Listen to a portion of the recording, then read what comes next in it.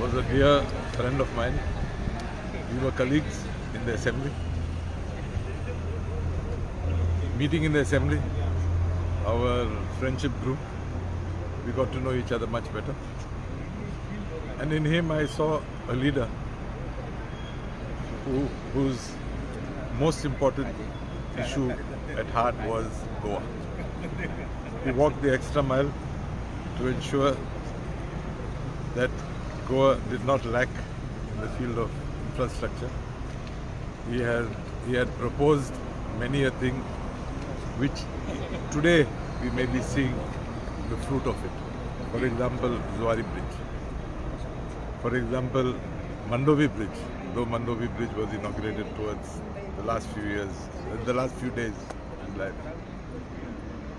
In the field of education, I know that field was also very dear to him, and that is why he kept that portfolio with himself. Why did he do that? Is because he felt that students of today are leaders of tomorrow.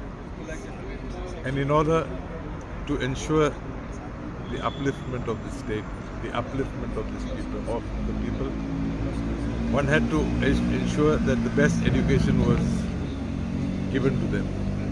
For those, the student of today is the leader of tomorrow. With the commencement of this institute, which has been inaugurated today,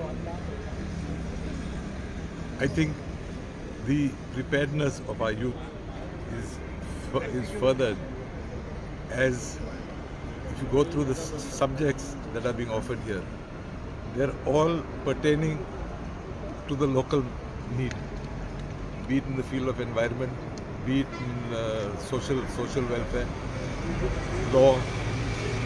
various courses are going to be conducted here, which I believe, as I said earlier, is the need of the hour.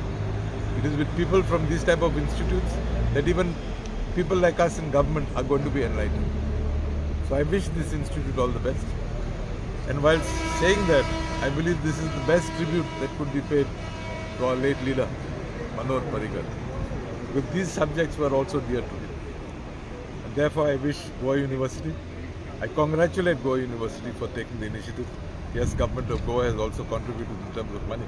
But had they not to take the initiative, government of Goa would not have come forward to give whatever, I think 22 crores or something like that were sanctioned here. 21 crores. So all that money has come because of the initiative of the university and therefore I congratulate our Vice Chancellor and his team of educationists. Thank you.